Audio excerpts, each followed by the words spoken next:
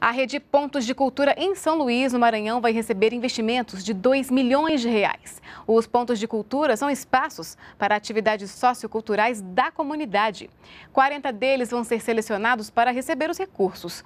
Também foi assinada hoje, na capital maranhense, a ordem de serviço do PAC Cidades Históricas, para revitalizar a Rua Grande, considerada o coração da cidade.